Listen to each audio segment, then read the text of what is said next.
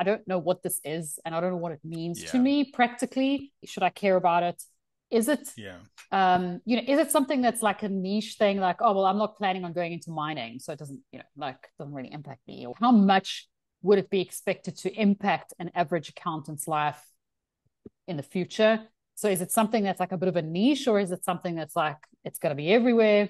It's a massive opportunity for for young people to make sure that they come out of university with a really good grounding in this stuff. Yeah, Because right. when they get into the working world, they're going to discover that the guys who've been around for a while are still trying to get to grips with it. Um, and Yeah. they'll and they'll start looking to them. Plus, it's just a really in like it's an interesting area. It's an area where you can feel like your work is meaningful and it's Mm. contributing to something bigger. It's not just about some new disclosures.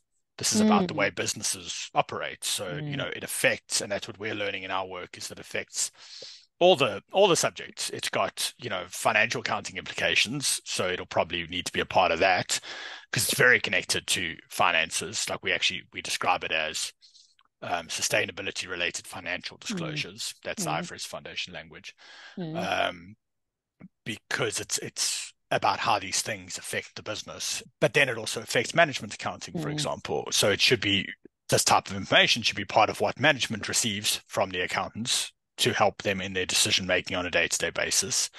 It affects like financial management type stuff around you know invest investment decisions and Mm. that kind of Mm. thing you know it it can affect tax in terms of carbon credits and things like that It's- that's a Mm. little more minor obviously it affects audit there's an entire standard that's been developed on sustainability assurance Yeah.